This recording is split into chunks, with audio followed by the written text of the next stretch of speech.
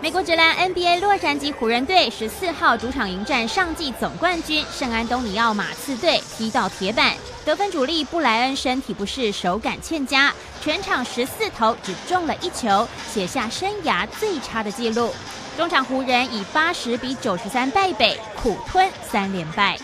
Clearly, he's not feeling well. If that's, I mean, I just got out of there and he doesn't look good at all. So, um, I don't know. You guys are probably going to talk to him later on, so you can ask him. But uh, from my standpoint, you know, I've never seen. I don't. I don't know what's going on, but he definitely doesn't. It doesn't look like he's feeling well at all.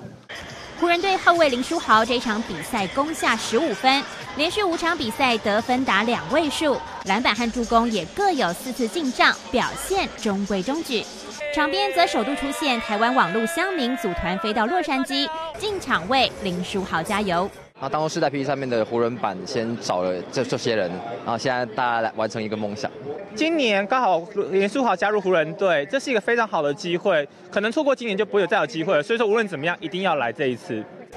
江民加油团号召超过一百二十人，大阵仗引起现场观众侧目。湖人队表定十六号出战金州勇士，加油团表示也会继续到场为林书豪助阵。中央社记者吴协昌，洛杉矶报道。